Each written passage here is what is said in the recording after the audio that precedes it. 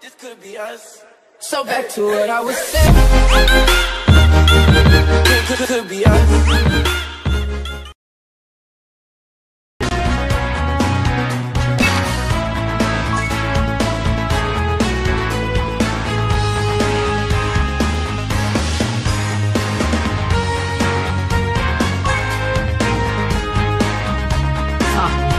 さあ